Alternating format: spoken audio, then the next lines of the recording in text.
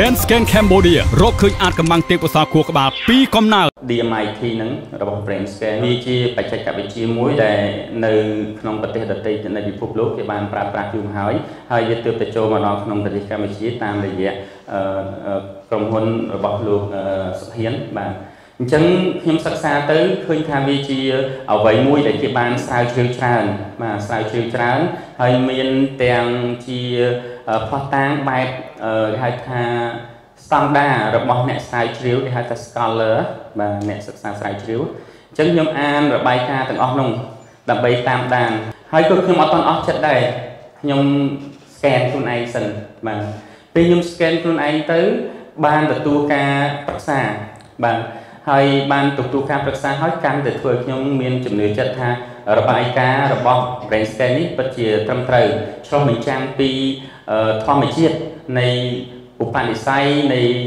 តចរិតហើយនឹងការគិតរបស់ខ្ញុំសកម្មភាពរបស់ខ្ញុំនឹងគឺសឹងតែ99%ហើយអានេះមិនមែនជាការនិយាយបន្លិតទេបាទវាគឺជាការពិតតែម្ដង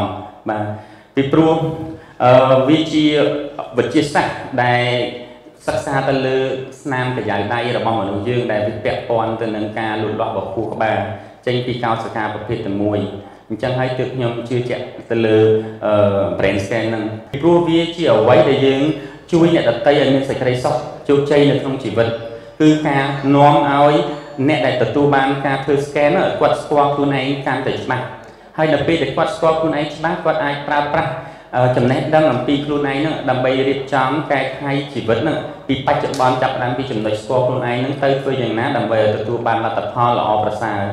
ពីព្រោះការស្គាល់ខ្លួនឯងច្បាស់គឺជាមូលដ្ឋានគ្រឹះនៃភាពជោគជ័យដោយខ្ញុំផ្ទាល់ខ្ញុំ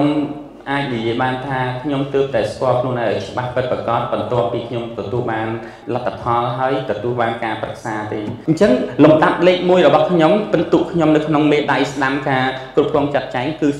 36ដែលលិចដាច់ចេញពីផ្នែកដតីទៀតនៅក្នុងខ្លួនខ្ញុំហើយខ្ញុំជឿជាក់ថាវាមិនមែនជាហោរាសាស្ត្រវាគឺជាវិទ្យាសាស្ត្រហើយយើងមានសុក្រិតភាពខ្ពស់ណាស់បាទសូមអរគុណបាទ